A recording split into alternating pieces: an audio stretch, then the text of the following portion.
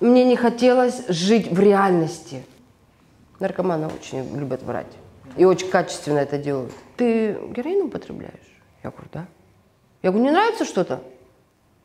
До свидания. Я делала на пас, я курнула, собрала, разбудила ребенка, завтрак, не завтрак, собрала ее в садик, отвела. Все.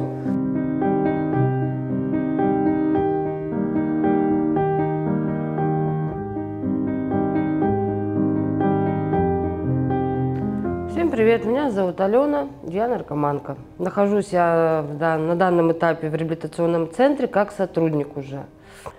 Ну, попала, если можно начинать все с детства рассказывать, то ну, наркотическая зависимость у меня, как оказалось, на протяжении 17 лет я употребляла наркотики. То есть употребление у меня началось, ну, если сразу рассказывать про употребление, то есть если вкратце, ну, то росла я в обычной семье, принципе, как бы отец у меня был зависимый, Царство Небесное, умер именно от алкоголя. Мама тоже у меня зависимая, но периодами у нее в детстве было, она и выпивала, потом кодировалась, и вот как-то так. Вот, в детстве не скажу, что я была обделена вниманием каким-то или финансами. Нет, вполне нормальная обычная семья. Но в 17 лет у меня случилось, я не пила, не курила, ничего. В 17 лет у меня случилась такая ситуация, меня изнасиловали, и я попала в больницу. И то есть девчонка пошла домой, а я свернула. И машина ехала за мной. То есть я прямо у подъезда, они мне говорят, о, девушка, девушка, давайте познакомимся. Я говорю, ребята, время утра, то есть уже светло, лето на улице. И я говорю, нет. И они подходят, то есть один чувак выходит из машины, и меня в машину просто затаскивает. Вот, то есть я, меня на заднем сиденье, он рядом со мной, и я внизу вижу какая-то, что-то, какие-то бутылки или что-то в машине валялись в ногах. И я попыталась эту бутылку взять и об голову ему разбить. Что-то какое-то вот такое подобие я сделала, и они меня повезли в лес в итоге. У нас недалеко там лесополоса, меня увозят в лес, э, у меня были длинные волосы, тоже вот так вот, просто волосы мои наматывают, и меня об капот. Я теряю сознание в этот момент. Очнулась я уже, я не знаю, сколько было времени, привязанная к дереву своими же трусами, чтобы ты понимал. Вот, я кое-как отвязалась. Самое, что интересно, я дошла транспорт по звуку. Вот. Как-то доехала до дома, там приехала скорая, что-то такое, я уже не помню.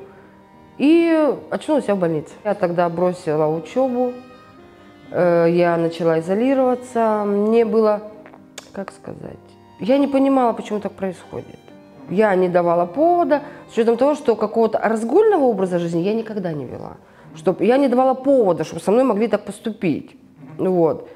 И ну, я в сильную депрессию такую впала, в такое отчаяние какое-то. А они что-то делали, чтобы тебя вытащить из этого? Да, они меня увезли на юг. Юг. Меня пытались к психиатрам водить, к психологам. А психиатры сказали, нужно сменить э, обстановку, куда-то уехать, отдохнуть. И мы уехали в Сочи. Вот. И у меня был мальчишка знакомый, ну, хороший друг с детства, его посадили в тюрьму. Это вот э, предвестие к тому, что как я с мужем познакомилась, причиной, кто и стал моего употребления, если это можно так называть. Вот. И я из Сочи звоню ему сказать, что все хорошо, как бы я доехала. И получается так, что на том проводе берет незнакомый совершенно мне человек. И я говорю, можно мне вот такого-то человека? Он говорит, нет, его сейчас нет, и он отошел. И завязывается мое общение э, по телефону на тот момент с моим будущим мужем, с первым, с Александром. Вот. И, значит, я прожила в Сочи месяца три, по-моему, если мне память не изменяет. И все эти три месяца, и мы с ним э, общались по телефону. То есть он сидит в тюрьме, я живу в Сочи, Зачем тебе а мне стало интересно. Мне стало интересно, какой-то, наверное, азарт у меня появился. Мне с ним было легко. Вот, и мы начинаем общаться, значит, и я говорю маме, что, мам, ну, можно уже в Ярославль вернуться, как бы я и подустала. А в голове у меня были мысли, что он мне говорит, ты когда приедешь в Ярославль, он в Ярославской тюрьме сидел, говорит, приезжай говорит, ко мне на свидание. А для меня, чтобы ты понимал, это вообще было дико. Я даже не знала, что такое свидание. Я говорю, хорошо, говорю, только ты мне расскажи, говорю, как это все делается. Да, мы встречаемся на свиданке, заводится разговор, он мне безумно нравится. Так, ему, он у меня был старше на 8 лет, Ну, понятно. 25. да, вот. И, значит, у нас завязываются отношения по телефону, как бы, и он мне делает предложение. Но ты к нему съездила на свидание? Да, да, да, на короткую, Короткое свидание. да. Мгм. А он э, за что сидел, ты знаешь? на тот момент я узнала, за что он сидит только после нашей росписи. Мне было даже неинтересно. Ты не спрашивал, Не. то есть, а если он маньяк или детей ест? То есть было пофиг. В моей голове, видимо, на тот момент было абсолютно наплевать, и мне тоже. И за что он сидел? За наркотики 228, часть вторая. Да, мы на тюрьме расписываемся благополучно, у нас длительное свидание, все хорошо вроде. И вот эти полтора года, как бы, ну, я жду его с тюрьмы. То есть я начинаю работать, пошла к тете, у нас у тети свои магазины были в то время, устраиваюсь продавцом, работаю, жду его с тюрьмы. Ты его любишь? Ну, я считала, что да. Сильно любишь хочешь? Да. Как Да, да, да, вот эта вот романтика, прям для меня это была тюремная романтика какая-то. Это вот прям ждешь, сидишь вот этого свидания. Господи, это вот я сейчас... Родители могли что-то тогда сделать или нет? Нет. Было Я была так воспитана, что мне всегда давали то, что я хотела. Как бы мне никогда не говорили нет. И тут э, как бы я говорю, ну, во-первых, я уже взрослая, я совершеннолетняя, я добила на это. Значит, мы едем на тюрьму его встречать, встречаем с тюрьмы, значит, тут шампанское, все дела. У меня тут еще и котенка приволок с зоны домой. Вот. Все это дело отмечаем и потихоньку начинаем жить. Он устроился на работу, как он сказал, хорошему другу строить сауну, отделку внутри делать. То есть ему дали машину, вроде все было хорошо. То есть я на работе, он на работе вечером. Мы встречались дома, там ужинали, супружеский долг. И вроде как все было прекрасно. Ремонт тут какой-никакой сделали в комнате. Но в один из дней э, я ему звоню, он не берет трубки. Потом он мне перезванивает, и мне его голос не нравится. Какой-то вот, э, ну, когда как, человек либо выпивший, либо под чем-то, его интонация голоса его меняется. Вот. А я, чтобы ты поняла, я даже не видела, чтобы курили траву при мне. Я не знала, что это такое. Мне было страшно спросить, что с ним. Я знала ответ. Я видела. Как бы все-таки я фильмы смотрела, но все равно девочка не глупая. Ну, я его спрашиваю, говорю, Саша, а что с тобой? Я говорю, ты под наркотиками? Он говорит, и в общем, ну матом не буду говорить, у нас завязался скандал с ним. Он начал на меня орать, да какое твое дело, да вообще не лезь в мою жизнь. И таких ситуаций было три. То есть э, я на тот момент его простила, он мне дал слово, что больше такого не повторится. И вот после третьего нашего очередного он приходит домой под кайфом. Я это все наблюдаю, ну, я больше не могла это терпеть. Это видит мама, до этого она этого не видела. Ну, и начинается скандал уже с мамой. И он на мать поднимает руку на мою. Я это все вижу, мы его выгоняем из дома, и мы с ним перестаем общаться на какое-то время. То есть он переезжает жить к матери, я его собираю вещички и с вещами на выход. Все, значит, он уезжает. И вот тут началась вот моя разгульная жизнь. Я перестала ходить на работу. Как бы я зарабатывала хорошо, финансы у меня были. Я начала ходить по барам, по клубам. Сколько лет тебе? 19 лет. И в один из дней ко мне подсаживается девчонка в баре. Привет, как дела? Тут это, Что ты в барах? Ты как часто бар? Ну, практически каждый вечер. Ну, так как я работала у тети, официально отчислилась, зарплату мне начисляли. Но работу я уже не посещала. То есть моя жизнь протекала уже с алкоголем. Ко мне подсаживается девочка Вика, царство небесное. Вот. И у нас, я говорю, будешь выпить? Там что-то налила, я что-то предложила. И у нас завязался разговор. Вот. А ходила я в один и тот же кабак всегда. Он недалеко от дома, такой и с бильярдиком, и совсем, думаю, ну, вообще, самое дело. Вот. И она как бы видит, что я постоянно в этих кабаках, и как бы финансы есть, и она мне, мы пошли с ней в туалет, она мне предлагает, хочешь, говорит, расслабиться. Я говорю, хочу. Я говорю, что у тебя есть? Она говорит, героин. Ну, а он же меня предал, как я считала, что он выбрал героин, а не меня. Я говорю, давай. Чтобы ты понимала, я иголок боялась до жути. Я в обморок падала при виде иголки. Я вообще этого на дух не переносила. В 19 лет Да. ты не употребляла ничего. А. И первый твой наркотик от Героин. незнакомого человека в туалете героин в вену. Да. Он же колется, можно, почему мне-то нельзя? У меня было чувство мести больше. Поэтому страха я не чувствовала в тот момент. Ощущения у меня были, у меня такое ощущение, что у меня по телу вот э, какое-то что-то такое горячее растеклось. Вот это вот как нега, что ли, какая-то, если это можно так сказать. Я просто, мне было как я посчитала на тот момент, мне первый раз в жизни было хорошо. Не было чувства боли, не было чувства злости, ненависти. У меня все эти чувства ушли куда-то. Вот именно ушли на нет. И мне стало хорошо. Которая тебя угостила, а, она угостила, денег не брала? Нет, ничего не брала. Так э, есть какое-то предположение, зачем? Чтобы в дальнейшем я покупала эти А наркотики. она была в Барве? Да. Ну, то есть вот эти вот истории, про которые что-то подсаживают специально, чтобы... Вот, пожалуйста. То есть это прямая... Конечно, конечно. То есть я почему сделала акцент, потому что я ходила в один и тот же бар. Мне не нравилось ходить в разные, тут меня уже все знали, как бы. И она видит, что бабки есть. Почему нет? И она видела мое состояние, что как бы меня вроде девчонки, там пойдем потанцуем. Я говорю, да, и не хочу я ничего. Мне хотелось просто тупо вот какой-то шума музыки и вот алкоголя. И психологически я не могла уже эмоционально без него. Каждый день такого? Да. И, не по, и на дню не по разу. О, то есть, ну, такое у меня активное употребление началось. И мне было хорошо. Сколько продолжалось? Недели две это где-то продолжалось. А потом произошла такая ситуация. Мы, значит, не встречаемся. И, в общем, в себе всегда был у нее героин. Как бы. Я никогда при себе не хранила ничего. Всегда у нее все было. Вот у этой э, девочки из туалета. Да, девочка с туалета. Да, и она говорит, положи, говорит, к себе. А мне так херовенько было уже. Я говорю, ну давай, то есть убираю к себе, и меня принимают. Полиция, мусора, как я не знаю правильно сказать. Ну и Сколько у тебя с собой было? 5 грамм. Э, то есть она это сделала специально? Ну, могу предположить, что да. Как она сказала мне потом по выходу, что это, это совершенно это случайность. По выходу кого оттуда? Меня из СИЗО. Сколько ты там пробыла? Три месяца. Это срок? Нет, это до суде, до, э, когда идет досудебное разбирательство, до самого суда, до постановления суда, человек подсудимый находится в следственном изоляторе. Слава, у меня были хорошие друзья, знакомые, которые, э, скажем так, вытащили меня оттуда. А откуда у тебя были 19 лет друзья, которые? А это вот спасибо мужу. Спасибо мужу, Мгм. э, З- зэку, который тоже сидел в Ну да, он авторитет местный был по тем временам. А, то есть не... Не, Не полиция, это там какие-то органы, нет, нет. Вот.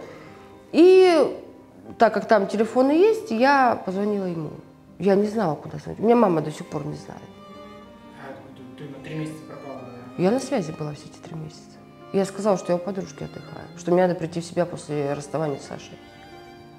Наркоманы очень любят врать. И очень качественно это делают. Ты три месяца находишься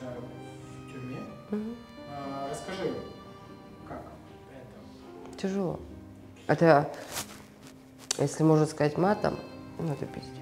С учетом того, что я всю жизнь жила, скажем так, ну в достатке.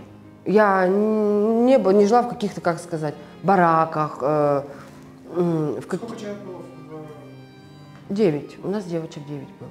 Тяжело что тяжело? Что тебе было Эмоционально тяжело. Во-первых, Просто ощущение, что ты в тюрьме. даже не то, что я в тюрьме, я опять же у меня в голове было, что это этот козел виноват. Что из-за него я начала колоться. Я не считала, что это плохо. Я считала, что он во всем виноват, что меня закрыли. Ты выходишь э, после трех месяцев. И как ты думаешь, кому я сразу звоню? Туалетной девочке? Да. Не чтобы ей сказать, какая она плохая, тварь меня подставила, а спросить, есть ли чего. Но ты при этом три месяца не торчала. Нет, нет. То есть ты можешь находиться без наркотиков. Да, могла вполне, но я не хотела этого. Я не понимала, зачем. Ты ей звонишь ей, она говорит, э, Она начинает извиняться моментально. Я не виновата, я не при делах, э, то есть это стечение обстоятельств так получилось. Я говорю, да и хуй с ним. Я говорю, есть что? Она говорит, есть. Я говорю, давай, встречаемся на нашем месте. а деньги все от того, что ты у тети не работаешь, числишься, зарплата идет. Да, у меня очень обеспеченная семья. Как бы, и знаешь, как сказать, может быть, это мне и давало какую-то, как сказать, почву для того, чтобы употреблять. То есть деньги есть, да торчи не хочу. Мы идем в кабак. в тот же самый. Да, конечно, я очень как-то стабильность любила. Вот. И там я познакомилась не в этот же день, то есть, и вот у меня вот такие пошли серые будни, как бы, может, неделю или полторы вот так вот все длилось. И я стала обращать внимание, туда стал ходить один и тот же парень. Ну, что такой симпатичный, как бы, вот, и все поглядывает на меня. Вот. И как-то он сел ко мне за столик, в общем, мы с ним познакомились. Начали общаться с ним.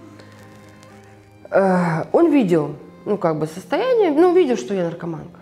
Я не скажу, что я какая-то была в непотребном виде или что-то. Нет, то есть я ухоженная была, чистенькая, опрятная, ну, такая гламурная наркоманка, я бы сказала. Вот.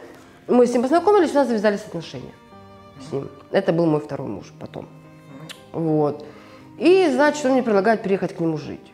То есть там секс, не секс, все, ну вот, завязались полноценные отношения. Ну, он говорит, ты героин употребляешь? Я говорю, да. Я говорю, не нравится что-то? До свидания. Говорю, я никого не держу, говорю. И я ему сказала, то есть я могу с тобой отношения иметь, но если будут, ты будешь двигаться на моих условиях. Ты мне не мешаешь употреблять, и мы будем с тобой счастливы. Он мне сказал, да. Но он не употреблял. Нет. Он траву курил. Как это, ну, как бы... И понимаешь, в чем дело-то? Он мне сразу сказал, что у него есть ребенок маленький. Ну, я говорю, ну, прекрасно. Ну, дети, это же хорошо, цветы жизни. Вот. И я приезжаю жить к нему. Я знакомлюсь с этой девочкой, с Алиной. Я начинаю с ней сюсюкаться, но с его стороны пошли условия, что как бы, Алена, ну надо завязывать с наркотиками. То есть жить, воспитывать ребенка, создавать семью, там не место наркотикам. Я умом-то это понимала, что он парень хороший, добрый. Вот он, у меня не было к нему чувств, у меня не было к нему любви какой-то. Он был хороший, симпатичный, добрый парень. Он работал. Да, у него была небольшая своя фирмочка такая. Машина, квартира, доход. Не миллионер, не миллиардер. Обычный такой, Все хорошо. Сколько вы с ним прожили? в итоге 12 лет. Потом получается как, что он мне ставит условие, что ты завязываешь. Я говорю, нет. И он знал, у кого я беру, как это все происходит. И в итоге в один из дней он у меня забирает оба телефона, покупает мне кучу алкоголя, э, по-моему. Короче, какие-то энергетики сильные алкогольные. Запирает меня в квартире и уезжает. Я без ничего осталась. Без связи. То есть выхода у меня на Вику не было в тот момент. И вот... э, а, потом еще была ситуация, короче, я через соседку, через окно, через балкон все-таки созвонилась. Короче, суть в том, что наркотиков я добыла себе все-таки. Вот, и суть в том, что, короче, я все-таки ставлюсь сама, открывается дверь, стоит у меня ребенок, который меня уже мамой называл к тому времени. Я сижу вот с этими инструментами и отъезжаю благополучно. Куда?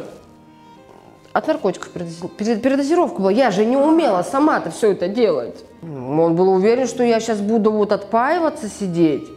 И он и приехал посмотреть, что со мной, ну, как бы, все ли хорошо у меня, может, там переклинило меня или что. И, в общем, с того дня И, и еще, подожди, мам, и он приезжает с ребенком. с ребенком, да. Ну, тоже прям...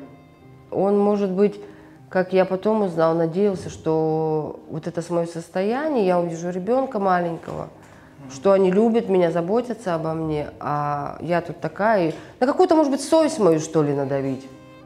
Очукиваюсь я не в больнице ничего, он меня как-то откачал, я не знаю, как, я даже не спрашивала потом. Ну Вот. И с того дня я перестала употреблять. С- Насколько? Года на четыре. Ты четыре года ничего не употребляла? Я начала траву курить. Ты четыре года не употребляла... Ну, сильных наркотиков я не кололась. Э, на, на тебя такой эффект... э, Я... На меня повлияло, что там ребенок стоял. А, все-таки он был прав, да? То есть ребенок Да, то есть ребенок все это видел. четыре года, и ты начала курить с ним. Много, часто? Вообще с утра до утра. А, Он дома выращивать стал. Он мне сказал, да лучше кури ты. Я, понимаешь, мне не хотелось жить в реальности. По приходу было по-другому? Да, конечно, хрень полная. Вообще, как бы, Я не понимала, что ты сам... Вообще прикол был, я когда первый раз он меня накурил, я сознание потеряла. Вот. И вот четыре года так прошло, мы тут жили, садики, не садики, вот это все. Мне стало скучно. Ты работала? Не, У тебя какие-то увлечения? трава. Просто 4 года ты курила траву. И пила пиво. Каждый Больше ничего не делала. Занималась ребенком. Отводила в... Спокойно. Вообще спокойно. Хочешь научу? Шучу. Что? Я просыпалась с утра, я делала напас, я курнула, собрала, разбудила ребенка, завтрак, не завтрак, собрала ее в садик, отвела. Все. То есть весь день у меня свободный. Я занималась какими-то домашними делами, в перерывах покуривая.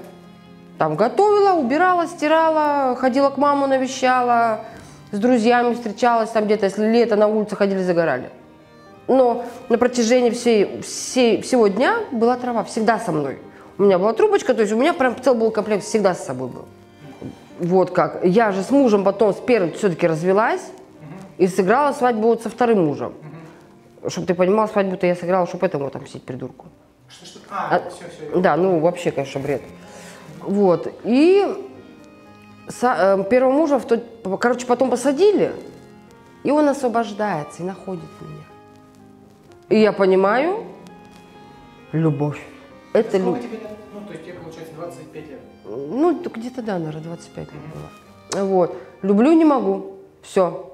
С учетом того, что второго мужа я никогда не любила. Да, он хороший, добрый человек, но не более того, который меня вытащил, как я считала, из этого говна.